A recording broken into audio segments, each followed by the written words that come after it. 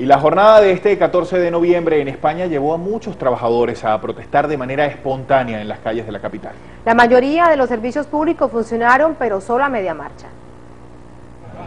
Trabajadores residentes del barrio obrero Moratalaz de Madrid recorrieron a mediodía las calles de la capital para rechazar la gestión gubernamental frente a la crisis económica española. ¡Para la privada!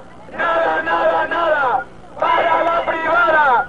¡Nada, nada, nada! Piden un cambio de sistema para acabar con el desempleo y fortalecer la prestación de los servicios públicos como sanidad y educación.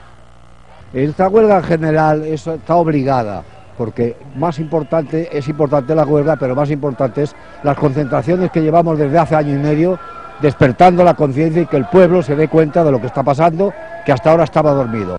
El servicio de transporte público capitalino sufrió retrasos durante esta jornada de huelga. Algunos optaron por usar sus propios vehículos o simplemente quedarse en casa.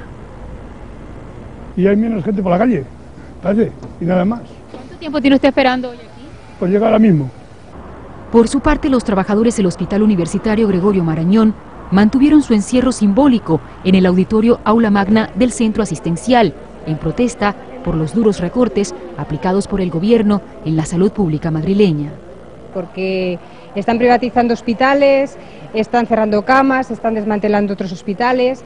Empezaron nuestros compañeros de la Princesa, se siguió con, con los hospitales nuevos, se unieron otros, otros hospitales y, y el Marañón también está ahí, porque en un principio a lo mejor nos ha tocado tan de lleno.